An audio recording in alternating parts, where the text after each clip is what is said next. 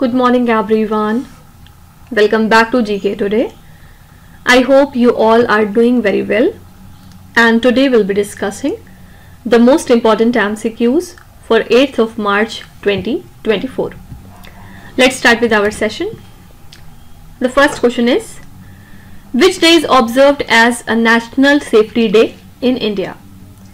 So it is observed annually on 4th of March in India and it marks the beginning of the National Safety Week. Basically this day emphasizes safety and precautions in all the sectors. And what is the theme for this year? Theme is safety for a sustainable future. Okay. So this theme highlights the vital connection between the safety measures and sustainability also, this day serves as a reminder of the critical importance of prioritizing safety, extending its focus beyond a single day to promote long-term safety practices, right? So, two things are important. When do we observe the National Safety Day? Answer is 4th of March. And what is the theme for this year? Theme is safety for a sustainable future. Next is Rupa Tarakasi silver filigree which has recently received a GI tag belongs to which Indian state? So it belonged to Cuttack in the state of Odisha and recently it has secured the GI tag from the GI registry in Chennai city. So Odisha State Cooperative Handicraft Corporation Limited submitted the application which was supported by the Department of Textile and Handicrafts and this filigree is linked to exquisite craftsmanship in classical jewelry which dates back to 3500 BCE in Mesopotamia.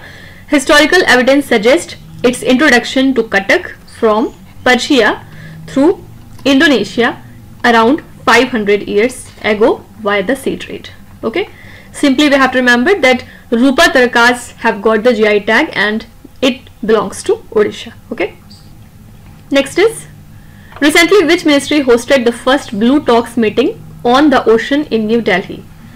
This is Ministry of Earth Sciences and they have hosted the first Blue Talks meeting on 29th of February in New Delhi. And this meeting was co-partnered by the Embassy of France and Embassy of the Costa Rica in India. So the Ambassador of France to India and the Ambassador of Costa Rica were co-conveners of this General Assembly. And this meeting focuses on ocean health and governance. And the Ministry of Earth Sciences took a significant step towards fostering the international collaboration and ocean related issues right so the first blue talks meeting were hosted by Ministry of Earth Sciences where in New Delhi fine recently who has received the Maharashtra Bhushan Award 2024 in recognition of his contributions to the field of regenerative medicine. Here answer is Dr. Pradeep Mahajan and who is he? He is the founder and CMD of STEM RX and recently he received the Maharashtra Bhushan Award for his groundbreaking contributions to regenerative medicine. Also his unique approach and commitment have advanced scientific understanding and provided innovative therapies globally so his work at STEMRX Hospital and Research Center has not only transformed the patient treatments but also it has established him as a beacon in regenerative medicine earning him the prestigious recognition for his impactful and pioneering effort right so this year Dr. Pradeep Mahajan has received the Maharashtra Bhushan Award 2024 next is Recently, Larsen and Toubro commissioned its first indigenously manufactured electrolyzer at which particular place? So, in the month of March, Larsen and Toubro commissioned its first indigenously manufactured electrolyzer at the green hydrogen plant at AM Naik Heavy Engineering Complex in Hazira in the state of Gujarat. So the electrolyzer is developed and assembled in India and conforms to international standard as well. And Larsen & Toubro plans to use its giga scale facility in Hazira to meet the growing demand for the green hydrogen. Also, they plan to maximize the product localization through enhanced local supply chain and automation for cost competitiveness. Fine. So, Larsen & Toubro commissioned its first indigenously manufactured electrolyzer at Hazira in the state of Gujarat.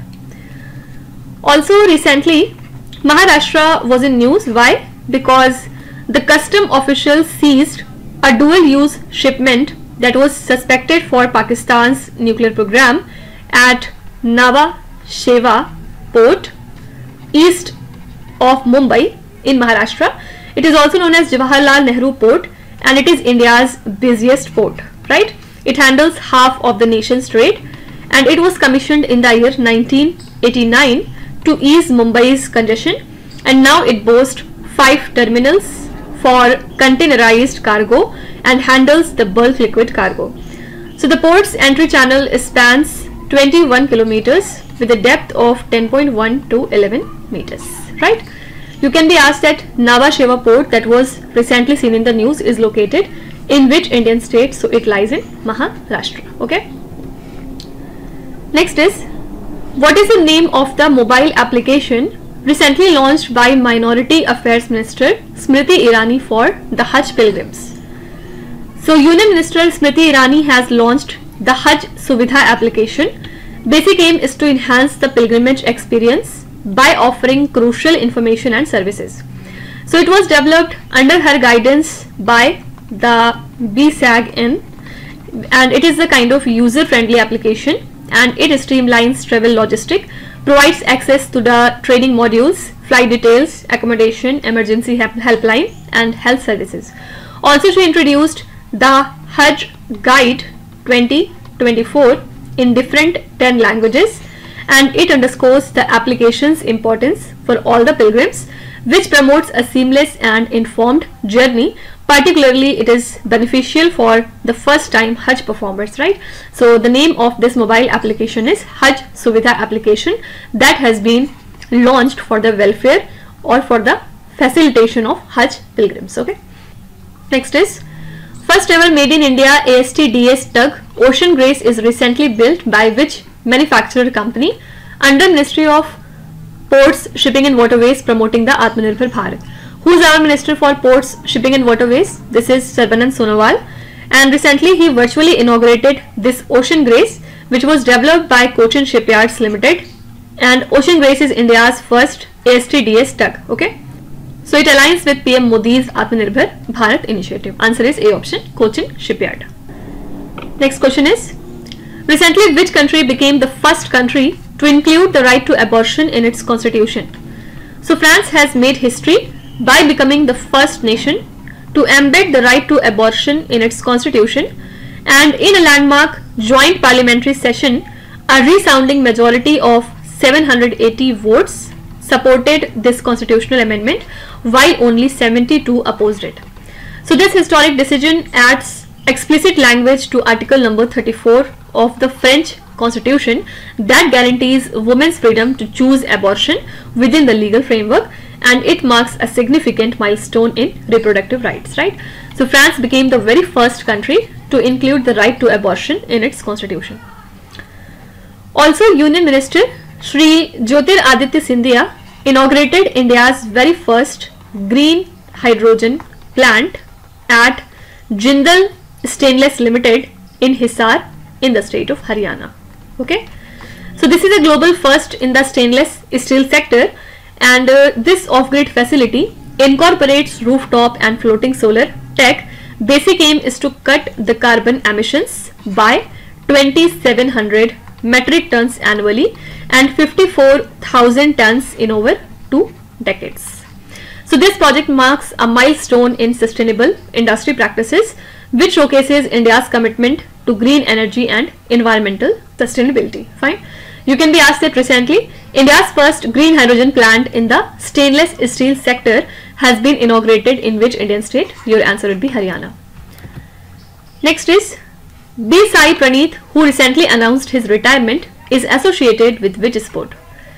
So recently he announced his retirement from international badminton on social media and he's from Telangana and he cited the injuries since the 2020 Tokyo Olympics as a reason for his retirement. So he plans to become a coach in the US and in the year 2019 he won a bronze medal at the World Championships becoming the first Indian to do so since 1983. Also, he won the Singapore Open and competed in the Tokyo Olympics as well, right? So, B. Sai Praneeth has recently announced his retirement and he is a badminton player. Who has been appointed as the new Chief Secretary of Bihar? Here answer is Mr. Brajesh Mehrotra and Bihar government has appointed him as the new Chief Secretary. He is a senior IS officer. Also, he is the additional Chief Secretary of Revenue and Land Reforms currently and his distinguished career includes the roles in general administration and parliamentary affairs which showcases his dedication and competence in the public service right? So who is the new chief secretary of bihar? Answer is mr brajesh mehrotra. Also iit madras is hosting the all india research scholars summit 2024 from march 4th to march 7th and it was organized by the research affairs council. Basically, this event brings together the minds from diverse disciplines across India to showcase and explore the latest research advancement. And focus is on fostering the collaboration between academia and industry. Basically, this summit aligns with the Atmanirbhar Bharat's vision which promotes the self-reliance through innovation, right? You can be asked that recently which institution has hosted the All India Research Scholars Summit 2024? Answer is IIT Madras. Recently, National Workshop on Logistic Efficiency Enhancement has been jointly organized by the DPIIT and WIT organization. So, Department for Promotion of Industry and Internal Trade and the World Bank Group organized the National Workshop on Logistic Efficiency Enhancement in New Delhi. And this workshop brought together the logistics sector community to brainstorm. And uh, talking about DPIIT it works under Ministry of Commerce and industry. Right? Here correct answer is world bank. Headquarter of world bank lies in washington dc headquarter of imf also lies in washington dc headquarters of wto lies in geneva switzerland and you have to tell me where does the headquarters of unicef lie? Recently who became the first woman sniper of the border security force? This is suman kumari. And sub inspector suman kumari is the first woman sniper in the border security force. And recently she completed an 8 week sniper course at the Central School of Weapons and Tactics that lies in Indore. And she achieved instructor grade. So her journey to become a sniper began when she was commanding a platoon in Punjab and saw the threat of cross-border sniper attacks. So she volunteered for the sniper course and with this she became the sole female among 56 male counterparts. Fine. So Suman Kumari recently became the first woman sniper of the border security force and this is an extremely important question. Next is recently where was the Asian river rafting championship organized? Here answer is Shimla who is the current chief minister of Himachal Pradesh Mr. Sukhwinder Singh Sukhu and he inaugurated the Asian river rafting championship near Basantpur on Satluj river near the rich Shimla and this event hosts 20 teams from the nations including Nepal, Bhutan, Sri Lanka, Iran, Iraq, Tajikistan, Kazakhstan and Indonesia. Okay. So there it emphasized the government's commitment to promote adventure tourism and it highlighted a recent river rafting marathon in Nadau Hamirpur district also as a part of this initiative, right? So the what was the venue for the Asian River Rafting Championship? Answer is Shimla, Himachal Pradesh. Also recently, Uttar Pradesh Chief Minister Yogi Adityanath has introduced Mukhyamantri Yuva Udyami Vikas Abhiyan. Why? To back the young entrepreneurs and this initiative offers interest-free loans up to 5 lakh rupees which would support the digital transaction and provide the grants to encourage the adoption of digital payment method. So government aims to nurture 1 lakh young entrepreneurs annually through this program which would foster the economic growth and innovation in this state, right? You can be asked that which state government has launched an initiative to support the young entrepreneurs called M Yuva scheme. Your answer would be Uttar Pradesh, okay? Next is, where was the India's first National Dolphin Research Center inaugurated. So India's first National Dolphin Research Center was inaugurated by Bihar Chief Minister Nitish Kumar. And this center is located near the Ganga River on the Patna University campus. So this is a center of excellence that will help the researchers and the students to understand the ecosystem of rivers and researchers at the center will focus on different aspects of dolphin behavior in their natural habitat including the study of food habits and their adaptation to the changing environment. So this center will also play an important role in training the fishermen on different methods to avoid harming dolphins during the fishing activities, right? So India's very first National Dolphin Research Center has been inaugurated in Patna in the state of Bihar. Now apart from it, our Defence Minister Rajnath Singh is set to inaugurate two piers and seven towers which would provide 320 homes for Navy officers and the defense civilians at the naval base in the state of Karnataka under project Seabird. Okay, it is the largest naval infrastructure project in India and it was conceived in the early 1980s. Then it was sanctioned in the year 1985 and this project spans nearly 11,000 acres which features a deep sea harbour, breakwaters and a township along with a naval hospital.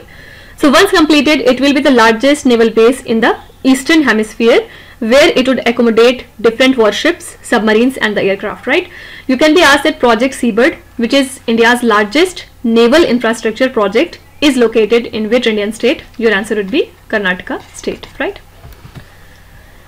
Next question is, Risa textile, which has recently received a GI tag, belongs to which Indian state?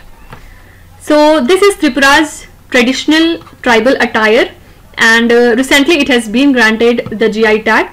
This is a kind of hand woven cloth and it serves as a female upper garment. Okay. Not only as a female upper garment but also it is used as headgear, stole and a gesture of respect. So it holds social and religious significance. And the young girls receive their first Risa at the Risa Sore Money ceremony which is uh, used creatively. And this cultural symbol is integral to the attire of Tripura 19 indigenous tribal communities right? So Risa textile has recently got the GI tag and it is a product from Tripura state. Now apart from it India's Prime Minister Narendra Modi has inaugurated the core loading process of the prototype fast breeder reactor where at Madras Atomic Power Station in Kalpakkam, Tamil Nadu. Fine.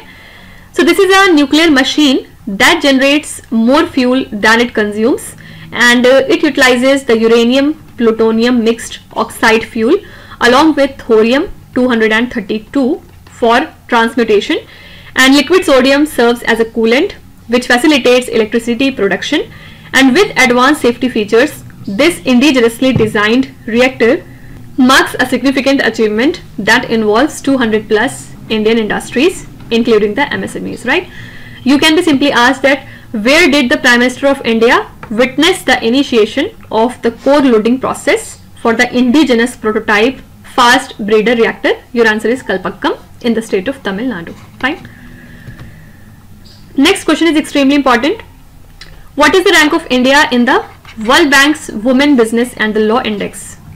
So India's rank is 113 out of total 190 countries and this index examines the legal environment for the women's economic opportunities in across different eight categories including the mobility, workplace and entrepreneurship.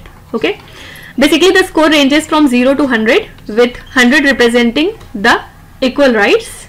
And uh, this report provides objective benchmarks for the global progress towards the gender equality. And it highlights the achievements and it underscores the need for further efforts so as to ensure the economic empowerment of all okay? So india's rank in the world bank's women business and the law index is 113 out of 190 countries. You can be also asked that which organization releases the women business and law index? Your answer is world bank okay? Headquarter of world bank lies in washington dc next is Recently, which ministry launched the digital intelligence platform and Chakshu facility on Sanchar Sathi portal? This is Ministry of Communication and recently it unveiled the digital intelligence platform and Chakshu on the Sanchar Sathi portal. Basically, DIP facilitates the real-time intelligence sharing and coordination among the stakeholders like telecom service providers, law enforcement agencies, banks, social media platforms, etc. And it is developed by the Department of Telecommunication and uh, it is a kind of secure platform which is inaccessible to the citizens. Also the portal highlights the cases of telecom resource misuse, right? So Ministry of Communication is associated with Digital Intelligence Platform and Chakshu facility on Sanchar Sathi portal. Now these days Ministry of Consumer Affairs, Food and Public Distribution is also in news. Why? Because this ministry has recently unveiled the e-Kisan Upaj Nidhi initiative in New Delhi. Okay, who is our minister for it? Mr. Piyush Goyal. And basic aim is to make the agriculture sector the cornerstone of Viksit Bharat by the end of 2047. So this is a digital gateway which was developed by the Warehousing Development and Regulatory Authority and it streamlines the farmers warehousing logistic through technology and it ensures the fair practices for the produce.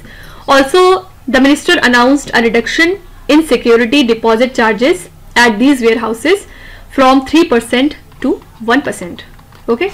So it obviously encourages more farmers uh, particularly small scale ones so as to utilize the facilities and boost their income right? You can be asked that e-Kisan Upaj Nidhi that was recently seen in the news is launched by which ministry? Your answer is Ministry of Consumer Affairs and Public Distribution right? Next is which day is observed as International Disarmament and Non-Proliferation Awareness Day every year. So this day is observed annually on 5th of March and it was established by United Nations General Assembly in 2021. The basic aim is to enhance the global understanding of disarmament issues, especially among the youth. Also, its objectives include raising awareness about the weapons of mass destruction, promoting education on disarmament and encouraging the actions to reduce the threat and foster peace and security. So this year the theme is the way forward. Okay. So two things are important. When do we observe International Disarmament and Non-Proliferation Awareness Day? Answer is 5th of March. And what is the theme for this year? Answer is the way forward. Last question is Gewra mine recently seen in the news is located in which Indian state? So this mine lies in Chhattisgarh and as of March 2024 it is said to become the largest coal mine in whole Asia. And this mine is a subsidiary of Coal India which is a part of Southeastern Coalfield Limited and in March 2024 this mine received environmental clearance so as to increase its production capacity from 52.5 million tons per year to 70 million tons per year. Also the mine has the first mile connectivity including a conveyor belt, silos and a rapid loading system for eco-friendly coal evacuation, right? So Gewra mine that was seen in the news lies in the state of Chhattisgarh. So these are the most important current affairs and the news from today. And now let's start with today's quiz. Here on the slide you can see 5 questions which have been taken from the past 2-3 days current affairs. Pause the video and try to solve each of these questions and at the end of the lecture do not forget to share your scores in the comment section. So please be honest and do not cheat with yourself. So that's it for today. I hope you have liked the session. These were the important news and events from today and we will meet again tomorrow with some more important current affairs. Till then stay tuned. Thank you so much for watching and please do not forget to subscribe to GK Today. With this Meenu Hadsana signing off.